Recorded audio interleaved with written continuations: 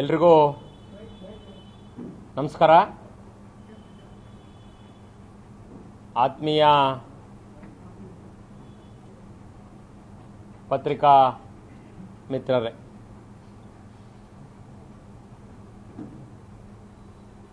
ನಿನ್ನೆ ದಿವಸ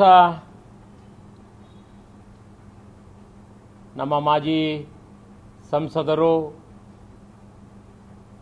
ಮಾಜಿ ಶಾಸಕರು ಈಗಿನ ವಿಧಾನ ಪರಿಷತ್ತಿನ ಗೌರವಾನ್ವಿತ ಸದಸ್ಯರು ಆದಂತಹ ಆಯನೂರು ಮಂಜುನಾಥ್ರವರು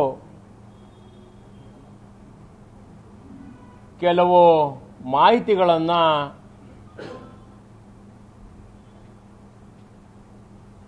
ಕೆಲವು ವಿಚಾರಗಳನ್ನು ಮಾಧ್ಯಮದ ಮೂಲಕ ತಿಳಿಸಿದ್ದಾರೆ.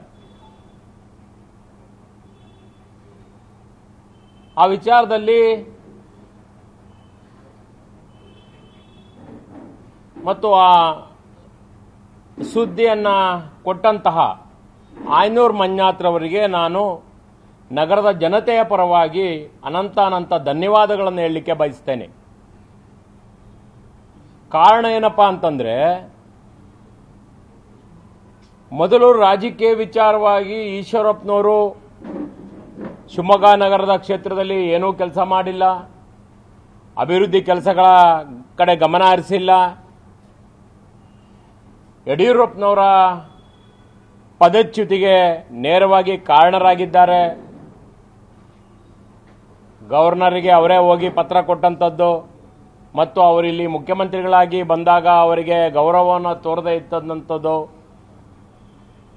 ಶಿವಮೊಗ್ಗ ನಗರದ ಶಾಸಕರಾಗಾದವರು ಅವರು ಮ ಅವ್ರಿಗೆ ಅಗೌರವ ತೋರಿಸಿದ್ರೆ ಜನತೆಯ ಮೇಲೆ ಜವಾಬ್ದಾರಿ ಕೂಡ ಬರ್ತದೆ ಅಂತೇಳಿ ಈ ಸಂದರ್ಭದಲ್ಲಿ ಹೇಳಲಿಕ್ಕೆ ಬಯಸ್ತೇನೆ.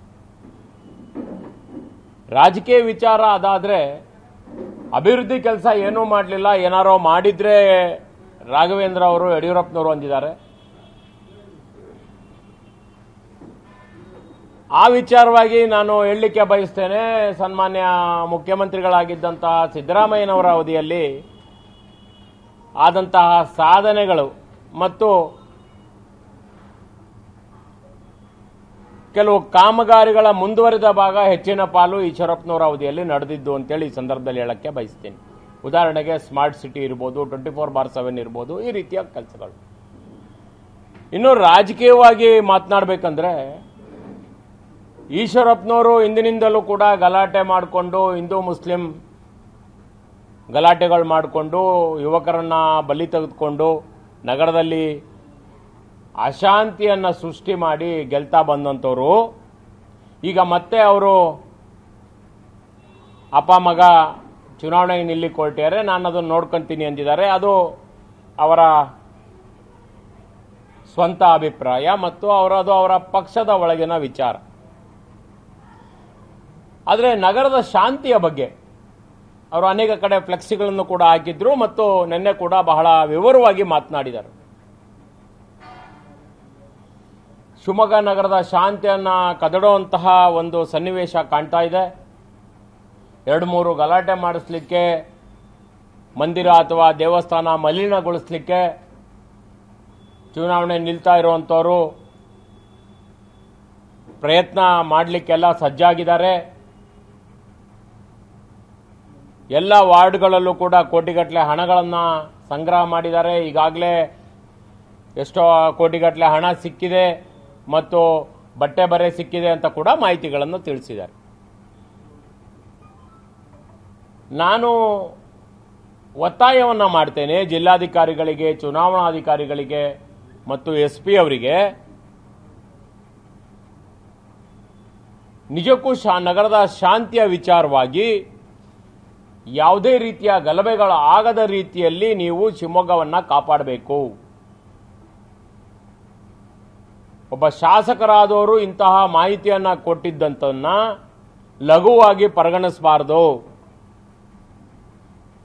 ವಿಶೇಷವಾಗಿ ತಂಡಗಳನ್ನು ರಚಿಸಿ, ಯಾರ್ಯಾರ ಮನೇಲಿ ಹಣಗಳನ್ನು ಇಟ್ಟಿದ್ದಾರೆ, ಗಲಾಟೆ ಮಾಡಲಿಕ್ಕೆ ಏನೇನು ಪ್ಲಾನ್ ಮಾಡ್ಕೊಂಡಿದ್ದಾರೆ ಪಟಾಲಂಗಳು ಅವರವರ ಹಿಂದಿನ ಹಿಂದಿರುವಂಥ ವ್ಯಕ್ತಿಗಳ ಎಲ್ಲ ನಿಮ್ಮ ಪಟ್ಟಿಯಲ್ಲಿ ಇರ್ತದೆ, ಪೊಲೀಸ್ನವ್ರ ಪಟ್ಟಿಯಲ್ಲಿ.